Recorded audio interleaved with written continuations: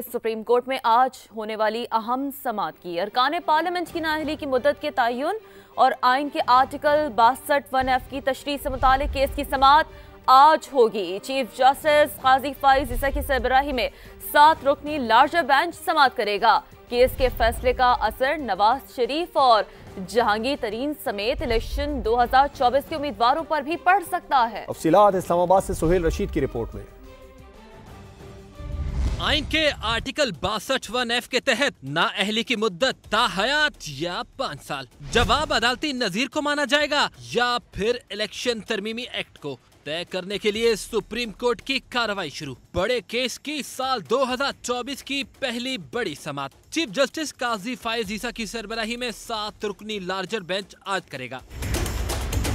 11 दिसंबर 2023 को supreme court ने मीर बादशाह केसरानी की जाली डिग्री पर ना अहली केस में अदालती फैसले और इलेक्शन एक्ट में तजाद पर नोटिस लिया। अटॉर्नी जनरल और तमाम सुबाई एडवोकेट जनरल को नोटिस जारी किए थे। सुप्रीम कोर्ट ने आर्टिकल बासठ वन एफ़ की तशरी आरोप पनामा केस में फैसला दे दिया था। नवाज़ शरीफ और जहांगीर तरीन इसी अदालती नजीर का शिकार होकर ताहयात नाअहल करार पाए थे। जिस पर चीफ जस्टिस ने रिमार्क्स दिए, अगर किसी की सजा खत्म हो जाए तो ताहयात नाहली कैसे बरकरार रह सकती है? पूछा, ताहयात नाहली और आर्टिकल बासठ वन एफ़ ऐसी मुतलिक कोई नया कानून भी आ चुका है? ताहयात नाअहली ऐसी मुतलिक सुप्रीम कोर्ट का फैसला और इलेक्शन तरमीमी एक्ट दोनों एक साथ नहीं चल सकते।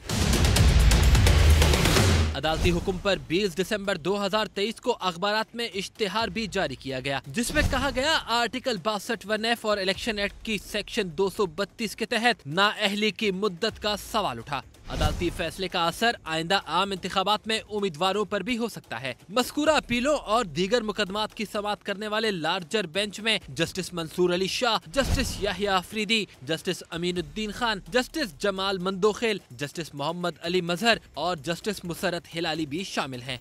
आइन के आर्टिकल बासठ वन एफ़ के तहत ना अहली की मुद्दत, ताहयात या पाँच साल। जवाब अदालती नजीर को माना जाएगा या फिर इलेक्शन तरमीमी एक्ट को? तय करने के लिए सुप्रीम कोर्ट की कार्रवाई शुरू। बड़े केस की साल 2024 की पहली बड़ी समाप्त। चीफ जस्टिस काजी फायज ईसा की सरबराही में सात रुकनी लार्जर बेंच आज करेगा। 11 दिसंबर 2023 को सुप्रीम कोर्ट ने मीर बादशाह केसरानी की जाली डिग्री पर ना अहली केस में अदालती फैसले और इलेक्शन एक्ट में तजाद पर नोटिस लिया। अटॉर्नी जनरल और तमाम सुबाई एडवोकेट जनरल को नोटिस जारी किए थे। सुप्रीम कोर्ट ने आर्टिकल बासठ वन एफ़ की तशरी आरोप पनामा केस में फैसला दे दिया था। नवाज़ शरीफ और जहांगीर तरीन इसी अदालती नजीर का शिकार होकर ताहयात नाअहल करार पाए थे। जिस पर चीफ जस्टिस ने रिमार्क्स दिए, अगर किसी की सजा खत्म हो जाए तो ताहयात नाहली कैसे बरकरार रह सकती है? पूछा, ताहयात नाहली और आर्टिकल बासठ वन एफ़ ऐसी मुतलिक कोई नया कानून भी आ चुका है? ताहयात नाअहली ऐसी मुतलिक सुप्रीम कोर्ट का फैसला और इलेक्शन तरमीमी एक्ट दोनों एक साथ नहीं चल सकते।